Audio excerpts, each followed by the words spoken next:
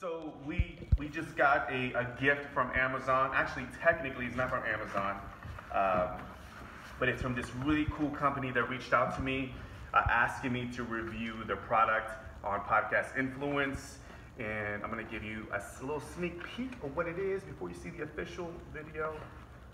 And uh, here it is.